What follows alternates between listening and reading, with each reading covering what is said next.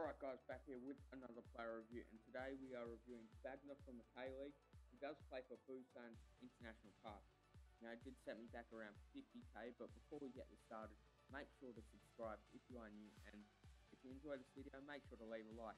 So first off, he is a very, very solid player, very strong I noticed, even though 54 strength.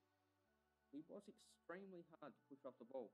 Um, I played him as a striker, as a lone striker, and paired up with another striker, but I found him a lot better by himself. He just seemed to go a lot better. Um, just his um, his finishing was also exquisite. Um, he managed to break away from a few players. He's just a very, very solid player. His volleys, like just a half volley there. What a crazy goal that was. For a silver, extremely talented. And um, but sometimes he does lack from close range. Even though his finishing is quite good, he does lack a bit from close range. Um, he has go a bit high or just wide.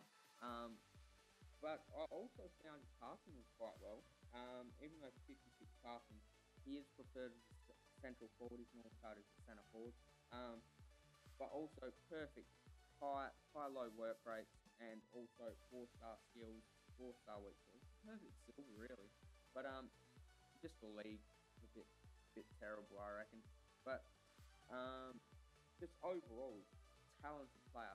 So make sure if you have enjoyed this make sure to leave a like, subscribe if you're new, and I guess I'll see you guys next time.